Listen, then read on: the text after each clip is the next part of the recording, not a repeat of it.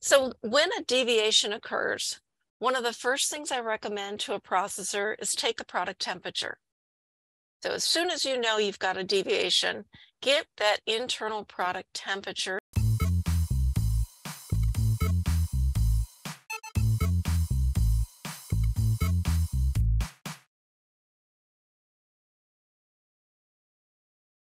Hello, me folks. Welcome back to the MeatsPad podcast. Uh, today, um, we have Dr. Boyle back on MeatsPad. It's been almost three years since uh, we we had Dr. Boyle, my advisor, um, back when I was uh, uh, at Kansas State University doing my my master's and, and PhD. And uh, there was also always a topic that I wanted to touch, um, and I think we getting the opportunity today to speak about this, which is product deviation, and we'll we'll speak here in a minute about what that is. Um, Dr. Boyle, how are you today? I'm doing good. Thank you very much for having me back. It's going to take place again, the, the KMPA meeting, actually this week at K-State uh, on Friday. Maybe you can tell us a little bit about the program and, and what is expected. Sure. Um, the Kansas Meat Processors Association holds an annual convention every year in the state of Kansas. Formally, their convention rotated to different cities around the state. About 11 years ago, the organization made a decision to hold their annual convention in Manhattan, Kansas, so they could so we could hold it in conjunction with our annual Midwest meat processing workshop. So this Friday will be our 45th year of holding a one day meat processing workshop at K State so that processors who come to the workshop also have the opportunity then to attend the convention activities on Friday night, Saturday, and Sunday morning through the Kansas Meat Processors Association. And our workshop is different from the convention in that the workshop is held by K State. The convention is held by the Kansas meat processors, and they also have a cured meats contest tied in with their convention on Saturday. But at our workshop on Friday, we try to cover a variety of topics that are of interest to meat processors. We have a lot of newer processors in the system who have bought plants recently or who have started businesses recently. So we're doing some back to basics types of topics this year we've got, we'll be talking about cleaning and sanitation. We'll be talking about ingredients and ingredient functionality and focusing on non-traditional nitrite delivery systems since our processors are interested in those nitrite alternatives.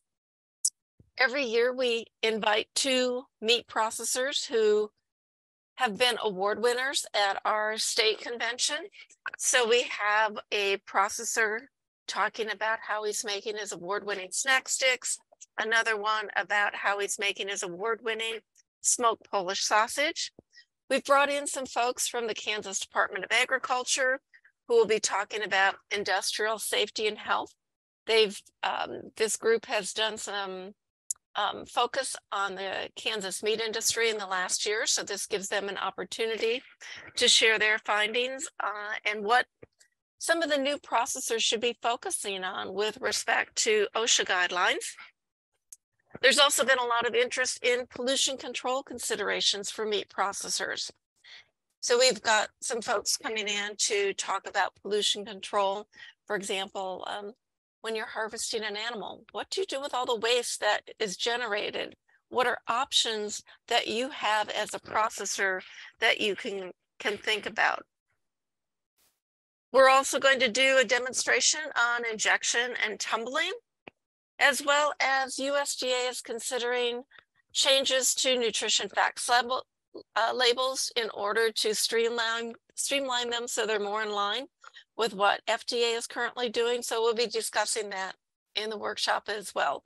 So it's a great opportunity at the one day processing workshop from K-State for processors to network, to learn new information, and then move into the convention where they'll hear more topics, have more chances to socialize and interact with other processors in the state. Absolutely.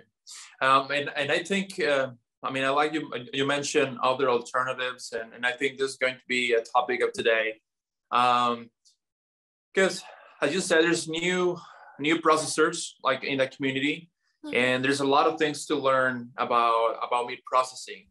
And I was uh, when I first knew about about how you go about product deviation and how you, uh, I guess, tackle this issue. I guess maybe you can start by by by telling us um, why is this an issue. Uh, I know, I mean, as an example, just to to processor out there that there are new sometimes in, in our equipment, sometimes sometimes it can fail the cooling, and we'll talk here in a minute about appendix B or what that is.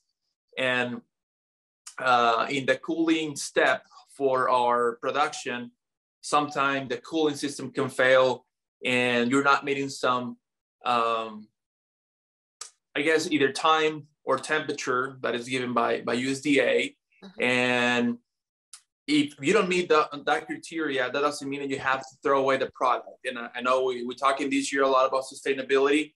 And I think I, I, like I like this approach that I mean they have a lot of experience with, and maybe you can we can have a conversation, kind of conversation about what what this is and what what can be done uh, for preventing food waste. Yes. So a product deviation occurs when someone um, doesn't meet a critical limit in their HACCP plan. And in working with deviations over the years, the most prominent deviation that I run across are cooling deviations. Occasionally, I get thermal processing deviations, but the majority of deviations are cooling deviations. So what happens typically is a processor may fail to meet stage one of cooling depending on the option they are picking with Appendix B, which is USDA stabilization guidelines. In our new 2021 stabilization guidelines, there's more options for processors to pick from than there had been in the past. There's more criteria to meet. So when you fail to meet stage one, that typically means you didn't cool the product fast enough going from 130 to 80 or whichever option you put picked what that criteria for stage one will be. Sometimes processors will meet stage one and two and, and but exceed the total cooling time. So well, they'll they'll meet stage one, but they'll exceed stage two and take longer to cool. Um, all kinds of different variations happen. I've run into processing deviations where the data logger failed and so now what do you do? So when a deviation occurs, one of the first things I recommend to a processor is take a product temperature.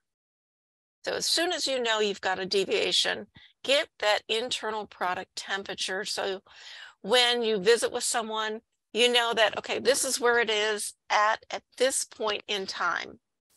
Quite often what happens is a processor will have a deviation and they'll reach out to me if you're in another state, reach out to your state extension specialist because they can potentially work with you with your deviation so that you might be able to salvage your product or find another processing authority that you can work with.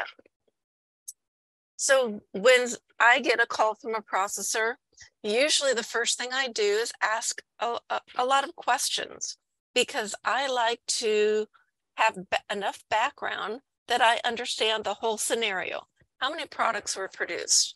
Not only how many pounds of product, but what was the size of the product? So for example, if you call me and say, I just had a failure with 500 pounds of hams. Okay, are they bone-in hams or are they boneless hams? They're bone-in hams. What were the size of the hams? How many units did you have? Because are we talking about small diameter hams or large diameter hands because there's research out of the University of Wisconsin, for example, where they've looked at extended cooling times for stage one and stage two for um, large diameter products that are outside of what's currently in Appendix B. So there's different options that we can look at to try and identify what went wrong. Is there a way that we can salvage product and what do we need to do to move forward?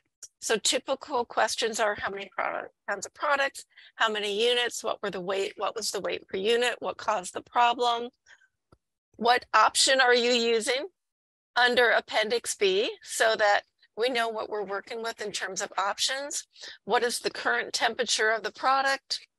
Or the what was the temperature when you first discovered the problem? What was the temperature of the cooler that the product was held in? Uh, was it an employee error? Was it an equipment error?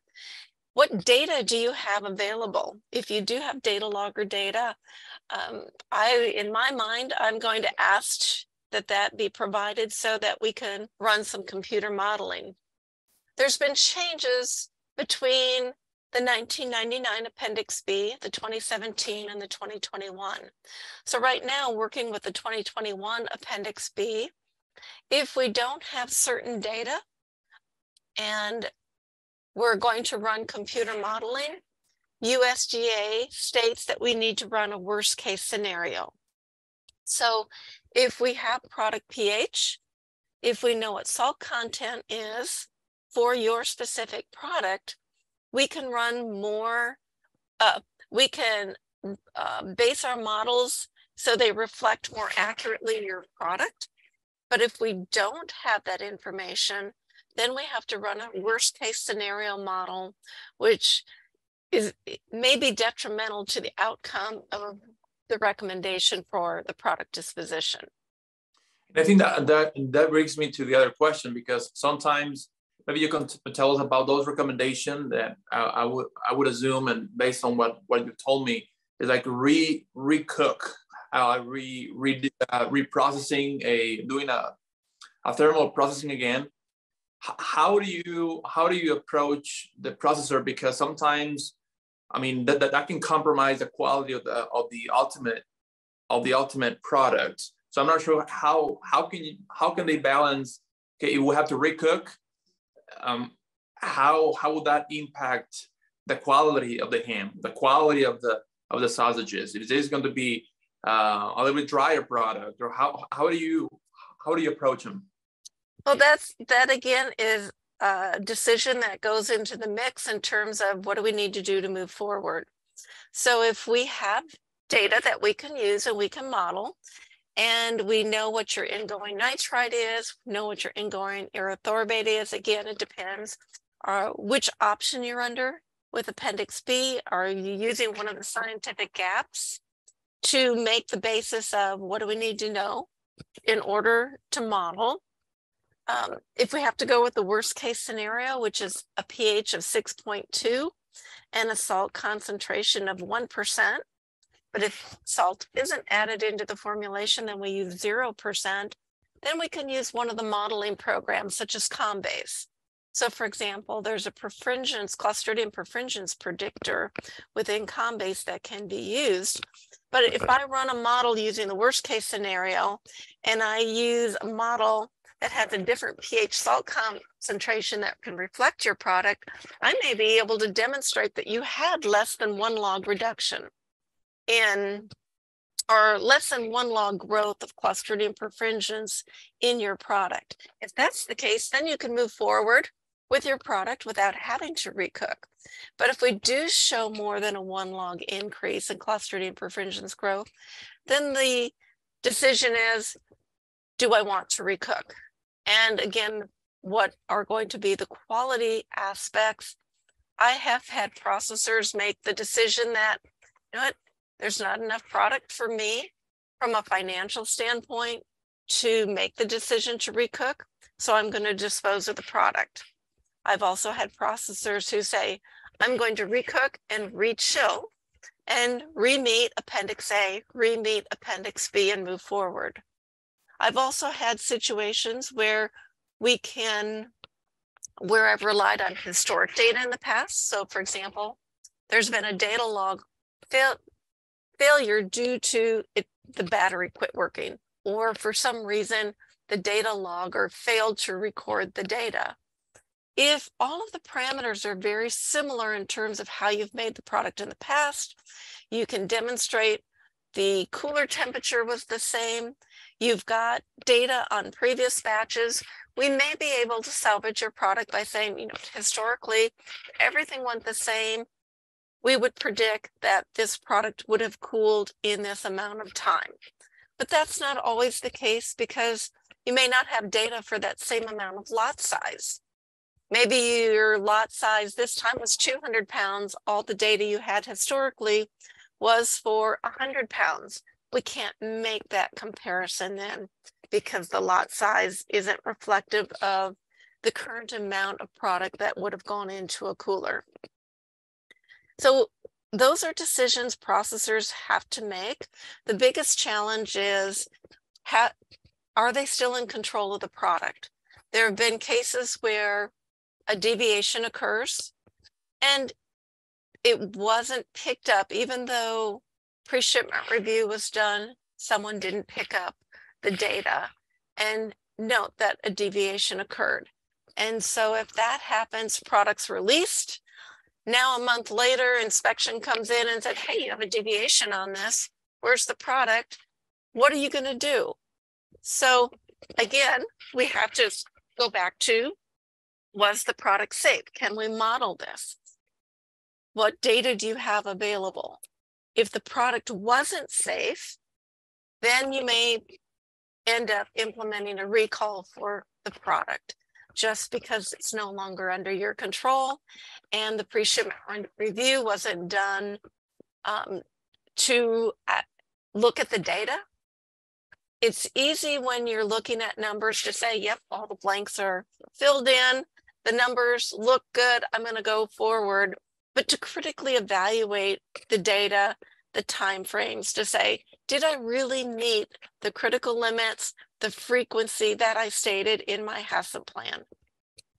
And that's definitely another episode, the recall program. Uh, but I think I, I, I I like I like this topic and, and because this is definitely an alternative for for folks that thought, okay, I didn't meet the critical limit in my house that I have to throw it away. Well, no, there is at least there is an option that we can evaluate to see if the product can be salvaged. Another question is, is this, so what happens, because I know in, in the state of Kansas, there's some facilities that are only state inspected. Uh, can you can you please tell us a little bit about this? So in the state of Kansas, if a plant has a process deviation, they're going to have to address it just as similar as if they were in a USDA facility. They're going to need to contact a process authority. Maybe they have contracted with one of the companies that um, helps them with their data collection on their critical limits. There are companies out there who provide um, services that you can collect the data electronically. It goes to them. They do the pre-shipment review. There's a deviation. They work with you on the deviation. Other companies will say, you know I'm not going to pay for service. I'm going to do it myself. Then they need to reach out to a process authority. They need to get the documentation or a letter from a process authority saying, yep, this would have met your critical limit or no, this isn't going to meet the critical limit. You're going to have to decide what to do with the product. Are you going to recook the product? Are you going to dispose of the product? Is there a way to um, salvage the product through any other means? So it's going to be the same outcome regardless if you're state or federal inspection in terms of how you're going to handle a deviation and then meet the four components of a corrective action. We talk about cooking a lot, of thermal processing. Uh, can this also take place, I guess, in like after slaughter, after harvest, when we cooling the carcasses? If something fails at the carcass level, can do you get questions a lot from that, or only on the thermal processing step? Um, I over the years, and I've been doing this for a lot of years, I've only had I can count on less than one hand the number of instances where there has been a deviation associated with harvest. Um, that's not where I see the deviations. Where I typically see deviations in the process is cooling. And usually it's a fit, a data logger failure or a failure to meet stage one of cooling. Excellent. Well, I think I hope I hope that this conversation serve as a as as a vehicle for for processors because sometimes we focus a lot on production, we focus a lot of a lot on yield, a lot on meat quality, um, the pricing. But I think uh, it's I always like to get him back to to food safety because it's it's a very important pillar uh, in the production of of, of meat of meat uh, meat products and uh, and sometimes we forget we forget that we need to have a HACCP plan in place that is current and and that is uh, uh, up to date in everything. I mean, I know with Appendix B last year we had we had this, conver- these conversations a lot with meat processors. What's changing? What's adapting? What's what's new? And um, I'm not sure if, if you you want to have uh, just some final thoughts on on the importance of food safety. I mean, sometimes again we focus a lot on on on, on what is on a, on a daily basis, on a daily job um, in in the production line in the kill floor. But the food safety is very very important, and and I think I I, I always try to to balance the topics of this platform because it's super super important Absolutely. We can produce all the product we want, but if it's not safe to eat, then it doesn't matter how much we produce. And recalls aren't just for product we produced today or yesterday. I was just reading this morning about a recall that is going back to 2018 with products because of potential temperature abuse issues. That's an enormous amount of time. And when you think about it, how much of that product is still out there? Probably none. But what does that recall do to a company's reputation? What does it do to their brand?